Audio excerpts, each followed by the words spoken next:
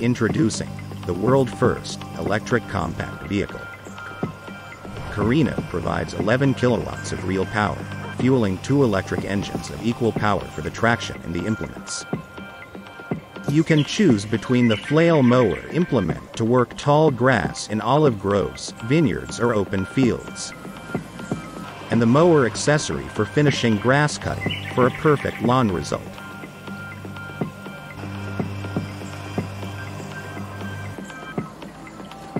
The cutting height of the implements is adjustable in six positions for every work situation. Carino has an autonomy up to 5 hours working and 20 hours moving. The Del Morino electric vehicle can be recharged from 1 hour and 30 minutes to 3 hours depending on the charger network.